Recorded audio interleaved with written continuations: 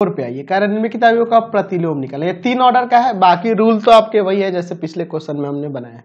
तो सबसे पहले तो इसका डिटर्मिनेंट वैल्यू चाहिए। तो हम लोग एक काम करते हैं, इसको ए मान लेते हैं ए इक्वल टू इस डिटर्मिनेंट को one three three one four three और वन थ्री फोर इस मैट्रिक्स को हम लोग ए मान लिए सॉरी माना इसको ए मान लिए। चलिए, ठीक है? अब इसका डिटर्मिनेंट वैल्यू निकालते हैं।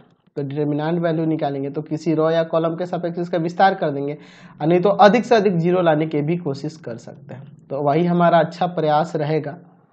One four three one three four देखो ना यार, मैं आर वन में से आर टू को घटा लेता हूँ तो यहाँ पे हो जाएगा ज़ीरो ठीक है? यहाँ पे हो जाएगा आपका माइनस का वन यहाँ हो जाएगा ज़ीरो और आर टू में से आर थ्री को घटा लेता हूँ आर टू के प्लेस पे रख देता हूँ। Zero one minus one one three four यहाँ पे क्या किए हैं? आर वन के जगह पर R one minus R two कर दिए हैं और आर टू के जगह पर R two minus R three कर दिए हैं। ताकि आसानी से अब इसका वैल्यू निकाल सकते तो यहाँ पे हम लोग सी वन के सापेक्ष विस्तार करेंगे तो ये लेना होगा। यह ढक जाएगा यह हटेगा यह हटेगा, ये चारों। माइनस का one zero one minus one तो यह आ जाएगा आपका वन माइनस ज़ीरो, यानी कि वन, जो कि ज़ीरो के बराबर नहीं है, इसलिए ए इनवर्स का अस्तित्व है। ए इनवर्स का अस्तित्व है। तो अस्तित्व है तो अब भैया, अब इसका इनवर्स निकालना है तो हर एक का, पहले तो हमें निकालना होगा, क्या निकालना होगा? को फैक्टर फिर एडजॉइंट निकालेंगे, तब हम लोग ए इनवर्स के लिए फार्मूला लगाएँगे। तो चलिए इसको देखते हैं। पहले हम लोग शुरू करते हैं ए एलेवन से। ए एलेवन चिन्ह तो आपको पता ही है। Plus minus plus minus plus minus minus plus minus plus यही ना है? चलिए तो ये प्लस में होता है एलेवन तो यह ढकाएगा यह ढकाएगा, ये चारों। Four, three three, four. ठीक है तो हो जाएगा सोलह माइनस नौ तो घटा देंगे तो आपका सात आ जाएगा। चलो, ठीक है, अब लेते हैं ए ट्वेल्व। ए ट्वेल्व लेते हैं तो ए ट्वेल्व देखिए भैया इसको देखना होगा ना, इसमें नहीं चल जाना, ये माइनस का होता है। यहाँ देखो चाहे यहाँ देखो। यह माइनस का होता है, ये वाला रो ये वाला कॉलम हटेगा। One three one four one three one four आ जाएगा यहाँ पे आपका फोर माइनस थ्री या माइनस वन आ जाएगा। चलिए। A twenty sorry A thirteen ना। ए थर्टीन तीन ऑर्डर का है। यह प्लस में होता है। आ जाए आपका वन, फोर, वन, थ्री। देख रहे हैं ना? यह रो, यह कॉलम हटा दिए। इको फैक्टर निकाला तो सबको पता ही यार। थ्री और माइनस का फोर, माइनस का वन आ जाएगा। Eight, twenty, one. ठीक है?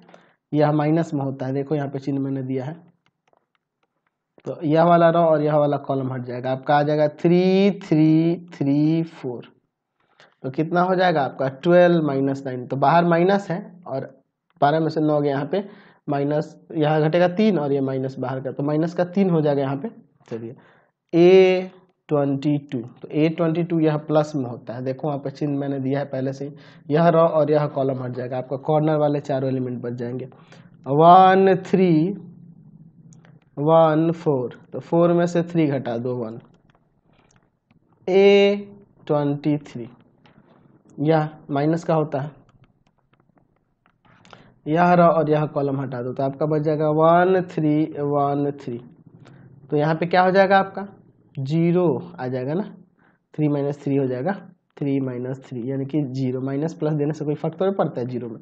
चलिए, अब बच गया आपका ए ए थर्टी वन मतलब थर्ड रॉ वाला बाकी एलिमेंट बच गया। तो ये वन होगा तो वन ये प्लस में होता है।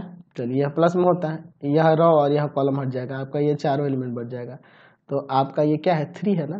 Three three four three three three four three तो कितना आ जाएगा?